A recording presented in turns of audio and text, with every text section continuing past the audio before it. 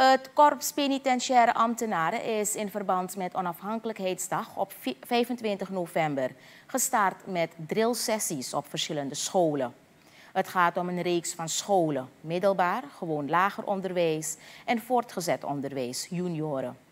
De sessies zijn in de periode van 8 november tot en met 29 november 2023.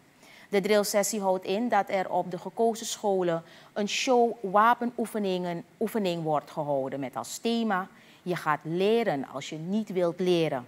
De eerste twee scholen van 8 november zijn Sri Ram Mulo School aan de Livornoweg en IMEO 3 aan de Noordpoolweg. Het Sint-Vincentius ziekenhuis heeft onlangs een bukkieapparaat in gebruik genomen op de afdeling radiologie. Het gebruik van een bukkieapparaat draagt bij aan het verkrijgen van scherpe en gedetailleerde röntgenbeelden, wat essentieel is voor een nauwkeurige diagnose door artsen.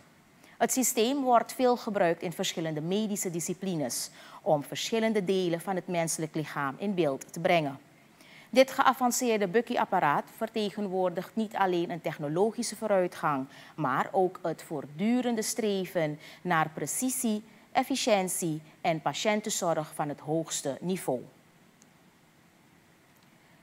Tijdens de evaluatievergadering van de Nationale Commissie Jubileumjaren 2023 hebben de verschillende subgroepen hun evaluatieverslag gepresenteerd.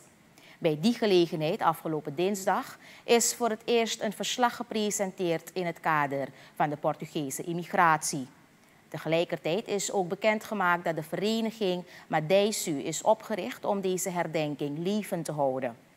De initiatiefnemers die de viering van de Portugese immigratie onderdeel hebben gemaakt van de jubileumvieringen, hebben op 15 oktober jongsleden officieel een bestuur opgericht dat de gedachtenis in stand zal houden.